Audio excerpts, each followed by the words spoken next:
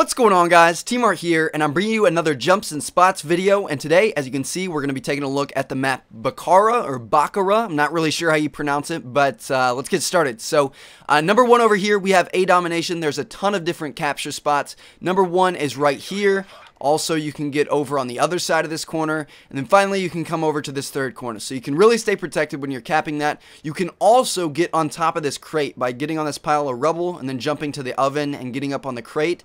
And uh, you can capture it from up here, but it's not very good because, I mean, you have no cover. You kind of sit out like a sore thumb. So uh, that's really only if you know the enemies are going to be coming from around this corner. Now, uh, another good spot is the chopper here. So number one, you can actually shoot the turret on the chopper. I know that's probably a newbie tip, but I may may have just blown some of your minds. I know a lot of people haven't really figured that out yet, as well as you can jump on top of the tail here and then jump to the body of the chopper, or you can get on this little hill here and jump to the nose. And get up on top, then you, if you get on the rotor, you can jump to this room here, take any noobs by surprise. A lot of people like to camp here and they sit here watching uh, the stairs and they might have a Betty at the bottom of the stairs or they may be camping looking out this window. So you can really take some noobs by surprise using that.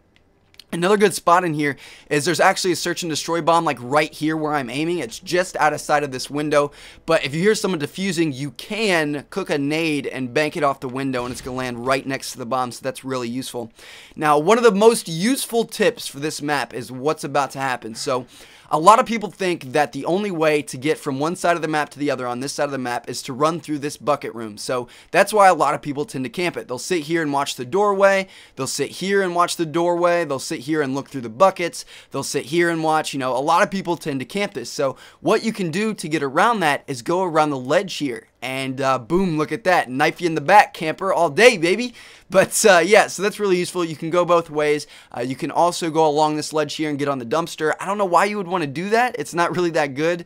Uh, and then also, you'll notice some people camp behind this blanket here and it's the stupidest thing I've ever seen. It makes you feel good because you know there's this nice little hole here just for you to see the middle of the map but if you really take a look at it the whole bottom part of your body is going to be exposed so uh, look out for campers right there just want to let you guys know.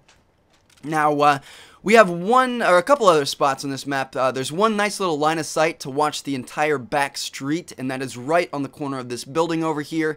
If you get up on this little pallet, you jump to the barrel and you get on top of the other barrel. You can see down the street here, and it's pretty good. I mean, you aren't fully covered, but uh, it does work pretty well and gives you a nice line of sight.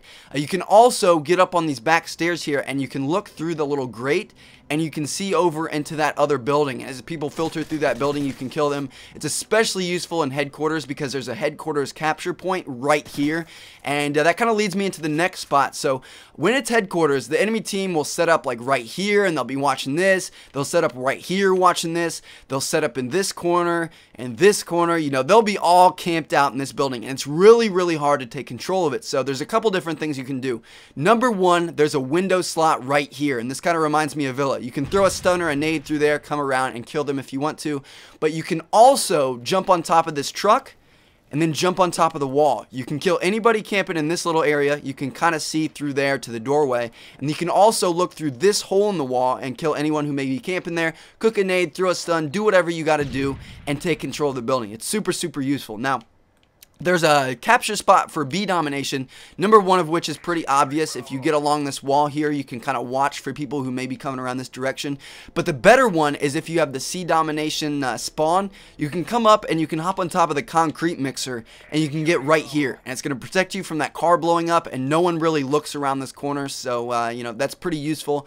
Uh, and then finally, if you come over to the triangle stairs, there is a kind of little crack that you can look through. So if someone's camping on this side, or they may be waiting for you to come over or something like that. You can just look through this crack and take them out, or you can look under the truck and take them out.